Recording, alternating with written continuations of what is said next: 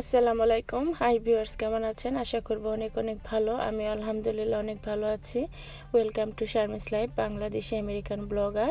এটা হচ্ছে কালকে দুপুরের রান্না আমার। আমি গরুর মাংস রান্না করছি আর পটল ভাজি করছি। তো আজকে তো আমি আব্বার বাসায় আসছি আর কি তো আজকে ব্লগটা মূলত আমার বাবার বাড়ির ভিডিও দিই আর কি তো কালকে যে আমি রান্না করেছিলাম সেটাও একটু শেয়ার করলাম। আশা করব আজকে শুরু থেকে শেষ পর্যন্ত ব্লগটা দেখবেন এবং সাথেই থাকবেন। আর যদি আমার ব্লগটা ভালো লেগে থাকে, অবশ্যই আমার চ্যানেলটাকে সাবস্ক্রাইব করবেন এবং লাইক দিতে একদম ভুলে যাবেন না। আশা করব আসলে আমেরিকার মতো দেশে বাবা মা ভাই বোন আত্মীয় স্বজন নিয়ে থাকার মতো সৌভাগ্য এবং আনন্দবোধ আর কোথাও নেই। তো আমাদের সেই সৌভাগ্যটা হয়েছে বাবা মা বোনকে নিয়ে আমেরিকার মতো দেশে থাকার। তো আমরা মোটামুটি ভালোই আছি। মন চাইলেই বাবার বাড়িতে যেতে পারি বাবা মা আসতে পারে। তো যাই হোক, সেজন্য বাংলাদেশের আত্মীয় স্বজন ছাড়া আর আপনজন বলতে আর কেউ নেই। সবাই এখানেই থাকে। তো সেটাই আর কি তো বাবা মার বাড়ি কাছে থাকলেও কিন্তু তেমনভাবে যে থাকা হয় না বাবার বাড়িতে, যেহেতু আমরা কাছাকাছি সবাই থাকি, সেজন্য হয়তো সকালে যাই, বিকালে চলে আসি কিংবা দুই তিন ঘণ্টা থাকি এরকম আর কি তো আজকে আমি আমার বাবার বাড়িতে গিয়ে রাত কাটিয়েছি, ছিলাম একদিন, পুরা দিন, পুরা রাতও ছিলাম। তো সে ভিডিওগুলি শেয়ার করব। আশা করব আপনাদের কাছে অনেক অনেক ভালো লাগবে। আর আমরা তো দুই বোন, আম্মা কিন্তু আমাদের দুই বোনকে এত আদর করে, অনেক অনেক আদর করে কিন্তু সবসময় ফোন করে খোঁজ খবর আম্মাই কিন্তু নেয়। আমরা হয়তো ব্যস্ত থাকি, বাচ্চা নিয়ে স্কুল, বানা নেওয়া, রান্না বান্না, তারপরে খাওয়া দাওয়ার মাঝে। যখন সময় পাই তখন তো ফোন করি। তাছাড়া আম্মাই কিন্তু বেশি ফোন করে খোঁজ খবর রাখে আর কি। তো আমাদের যাওয়ার কথা শুনলে কিন্তু আম্মা খুব খুশি হয়। এটাই হলো মায়ের ভালোবাসা। আসলে যার মা নাই, তার মতো অভাগা আর পৃথিবীতে বোধহয় কেউ নাই। মায়ের ভালোবাসা সত্যি বলার ভাষা রাখে না আর কি। বাবা মার দোয়া আর ভালোবাসা এটা যার জীবনে আছে, তার আর কোনো দুঃখ নাই আর কি। এখন আমরা তো মা হয়েছি, তাই বুঝি যে মা কেন এত আদর করে? নিজের সন্তানকে যখন আমরা আদর করি, তখন আমার নিজের মার কথাও কিন্তু সেটা মনে হয় যে মাদের ভালোবাসা আসলে সীমাহীন, এটার কোনো মাপ নেই। তো এদিক থেকে আমি পটল ভাজিটাও করে ফেলতেছি আর কি।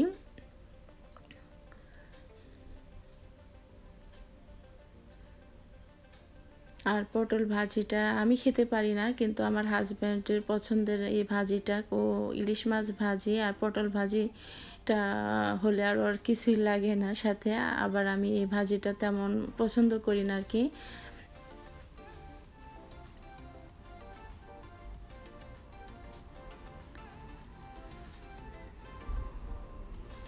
আর বাবার বাড়ি থাকা, খাওয়া আনন্দই কিন্তু অন্যরকম। কোনো কাজ করতে হয় না, মা রান্না করে আর আমরা খাই। আর আসলে কথা হলো যে আম্মার সাথে কিন্তু আমরা বাসায় যাই গল্প করার জন্য। কিন্তু আম্মা দেখি যে গল্প করা বাদ দিয়ে রান্না বান্না নিয়ে বিজি হয়ে যায় বেশি আর কি। তার চেয়ে মনে হয় যে ফোনে কথা বলে আমার সাথে বেশি মজা পাওয়া যায়। তখন আমার কোনো কাজ করে না ডাইরেক্ট কথা বলে। কিন্তু বাসায় গেলে দেখি যে কোনো গল্পই করে মজা পায় না। আর আমরা তো আম্মার সাথে খুব ফ্রি বাবার চেয়ে কিন্তু আমরা মার সাথে খুব ফ্রি সব ধরনের কথা শেয়ার করা যায় কিন্তু আম্মার সাথে আর কি। আমরা মা, মেয়ে বললে ভুল হবে, বান্ধবীর মতো সম্পর্ক আর কি, আম্মার সাথে কিন্তু। আমার শাশুড়িও কিন্তু আমাকে অনেক অনেক আদর করে আর কি। এখনও তার বয়স হয়ে গেছে, তারপরও সে মানে খোঁজ খবর রাখে, কথা বলে মাঝে মধ্যে অনেক আদর করে আর কথায় কথায় বলে, তুমি তো আমাকে ভুলে গেছো, এখন খোঁজ খবর নেও না, এরকম মজা করে আর কি। তো আসলে শাশুড়ির ভালোবাসা সবার ভাগ্যেই কিন্তু হয় না। তো আমি অনেক লাকি যে আমার শাশুড়ির ভালোবাসা আমি পেয়েছি।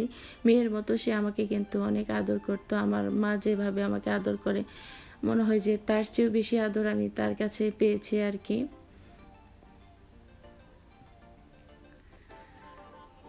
আমি দোয়া করি আমার শাশুড়ি মা বাবা সবাই যেন অনেক অনেক ভালো থাকে, সুস্থ থাকে, অনেক অনেক বছর যুগ যুগ ধরে যেন বেঁচে থাকে। শুধু আমার মা বাবা না, সবার মা বাবার প্রতি আমার অনেক অনেক দোয়া এবং ভালোবাসা থাকবে। আর এই ইউটিউব লাইনেও কিন্তু আমাকে অনেক অনেক আপুরা অনেক অনেক ভালোবাসে কিন্তু, তাদের ভালোবাসা পেয়েও কিন্তু আমি অনেক অনেক ধন্য। হয়তো এই লাইনে না আসলে বুঝতাম না যে এত ভালোবাসা। তো অনেক আমার কিউট আপুরা অনেক সুন্দর করে কমেন্ট করে আমাকে। তো সেই কমেন্টগুলি পড়লে কিন্তু আমার অনেক ভালো লাগে আর কি।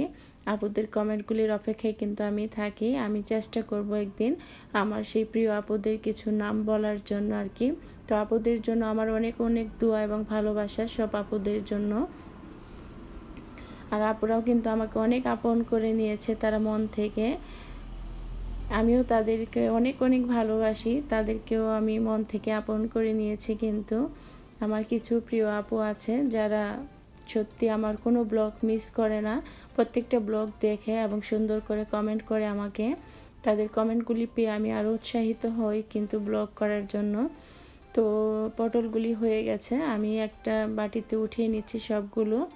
তো এখন তো দেখবেন আমি আমার বাবার বাড়ি ব্লগটা দেখাবো। তো আসলে রাত্রে আম্মার সাথে কথা হয়, হওয়ার পরে আমি আম্মাকে কিন্তু বলিনি যে সকালবেলা বাসায় আসব। তো সকালবেলা দেখে আম্মা ফোন দিয়েছে আমাকে। তো ফোনটা পাওয়ার পরে আমি আম্মার সাথে কথা বলতেছিলাম আর রেডি হচ্ছিলাম। কথা বলতে বলতে আমি গাড়ি ড্রাইভ করে বাসায় চলে আসি আম্মার বাসার। আমার বাসা কিন্তু বেশি দূরে না। গাড়ি দিয়ে গেলে প্রায় দশ পনেরো মিনিটের মতো আর কি লাগে। তো যাই হোক, পরে কথা বলতেছে আম্মা তো কথা বলতেই আছে বলতেই আছে আমার সাথে। তো আমি বাসার সামনে যে, যখন দরজায় কলিং বেলটা দিলাম তখন আম্মা খুলে দিয়ে কিন্তু অবাক হয়ে গেছে যে তুমি আসছো, দেখে অনেক খুশি। তো যাওয়ার পরে কিন্তু দেখি যে বাইরে অনেক বৃষ্টিও হচ্ছিল। তো বৃষ্টির দিন দেখে ভাবলাম যে আজকে আম্মার বাসায় থাকি। তো যখন আম্মাকে বললাম যে আজকে কিন্তু আমি তোমার বাসায় থাকব, শুনে তো আম্মা অনেক খুশি। সাথে সাথে ফ্রিজ থেকে মাছ, মাংস ভিজানো শুরু করে দিল। তো আসলে এটাই হলো মায়ের ভালোবাসা, আদর। কোনো দিন কিন্তু আমি থাকি না। অনেক বলে, তারপরেও কিন্তু আমি একটা রাতও মানে থাকি না আমার বাসায়। তো যখন বলেছি থাকব, শুনে আম্মা সত্যি দৌড়াদৌড়ি, রান্না করা নিয়ে শুরু করে দিল। আরিয়ান তো অনেক খুশি, নানার বাড়ি যেয়ে। এই যে এটা হচ্ছিল আব্বা যে সবজি লাগিয়েছিল, সেটা কিন্তু শেষ ফিনিশ হয়ে গেছে। আমি একদিন দেখিয়েছিলাম, অনেক ডাটার গাছ লাগিয়েছিল। তো ডাটার গাছগুলি এখন আর নেই, সবজি এখন যেহেতু আমেরিকায় ঠান্ডা, সব গাছ কিন্তু সবাই কেটে ফেলতেছে আর কি। যারা বাসার সামনে বাগান করেছিল সবজির সবগুলি কিন্তু তারা কেটে ফেলে দিচ্ছে কারণ সামনে অনেক ঠান্ডা, এগুলি পরিষ্কার না করলে কিন্তু তখন আর করা যাবে না। তো ওই যে আমার আরিয়ানের জন্য নাগেট ভেজে দিল। আরিয়ান তো নাগেটটা খুব পছন্দ করে আর এই নাগেটগুলি কিন্তু হালাল। মুসলিম দোকান থেকে কেনা বাঙালি গ্রোসারিগুলোর থেকে আর কি কিনে নিয়ে আসছে। আর আম্মাই যে পরোটা বানালো, আমি একটু সকাল সকালই গিয়েছিলাম। তো ওই যে পরোটা আর ডিম ভাজি করে দিল সকালবেলা খাওয়ার জন্য। আসলে মায়ের হাতে খাবারের মজাই আলাদা।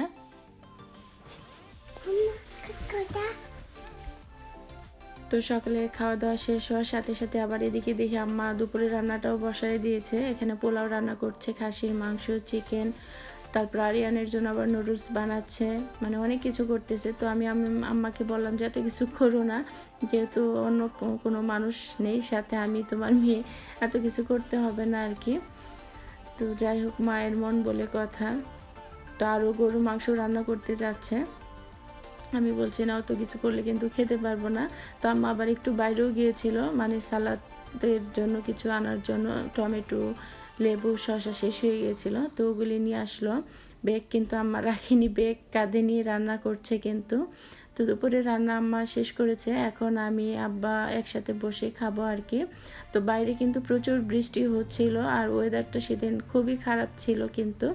আরিয়ান তো ওই যে দৌড়াদৌড়ি করছে, উপরে আবার নিচে নামতেছে, খেলতেছে। আর ওর তো সব খেলনা বাসায় রেখে গেছে, ওইখানে যে খালি খেলনা খুঁজতেছে। আব্বাকে বলতেছে যে তো খেলনা দাও। তো আব্বা মানে অনেক কষ্টে ম্যানেজ করে করে দিচ্ছে, খেলনাগুলি কোথাও আছে কি না খুঁজে খুঁজে দিচ্ছে। আসলে আরিয়ান যেখানে যায় ওর খেলনা চাই, ওর খেলনা না হলে হয় না। আমার বাসা তো মানে খেলনার বস্তা এই ঢালতেছে, উঠাচ্ছে, এই ঢালতেছে, উঠাচ্ছে, এরকম আর কি।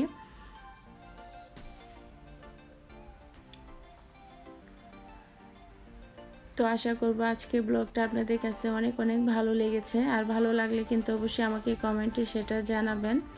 কেমন লাগল আজকে ব্লগটা?